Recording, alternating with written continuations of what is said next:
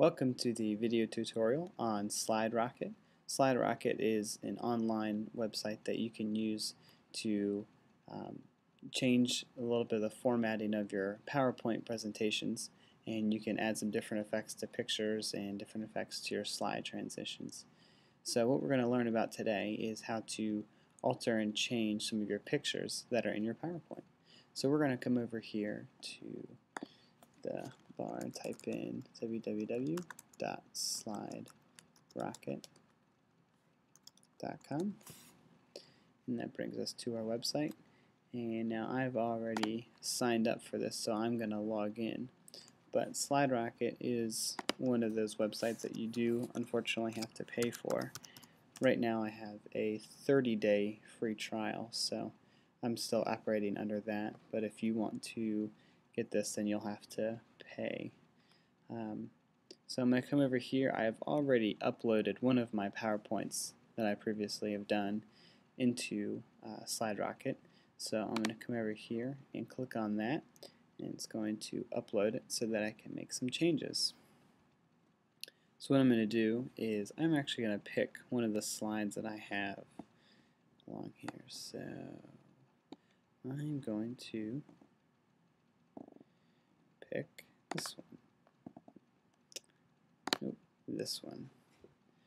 Okay, so what we can do here, I have four different pictures and you can add different effects to it. So what we can do is I'll come over here and select this one picture and you have a couple different tabs up here. You have the picture tab, styles tab, effects tab, and builds tab.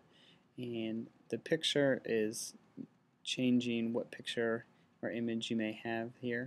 Styles are different fills or stroke, which is a border you can put around the picture. Effects are different effects that you can physically add to the picture. Um, and then you have builds, which kind of show how the picture comes about once you click on the page. So what I'm going to do a little bit with today are the effects. So I'm going to add an effect to this little magnetic ball with paper clips. And I'm going to do a drop shadow.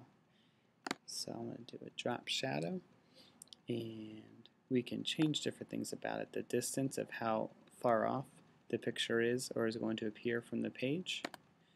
Uh, you can blur a little bit um, and you can also change the color of the shadow. So I think I'm going to leave this how it is right now. And so when you click off of it, you can see how that looks. Now for this one, since it's a light bulb, I'm going to do a different effect. And I'm going to do a glow because it's a light bulb.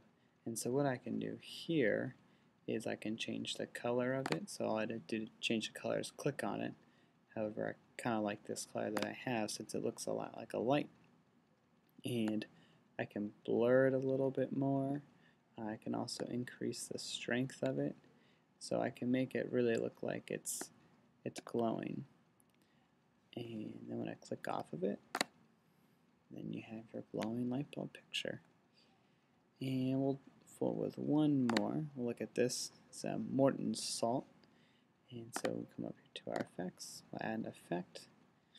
And then for this one, I'll do a reflection. So I just click on reflection and you'll see down here that there is a small reflection of what that picture will look like.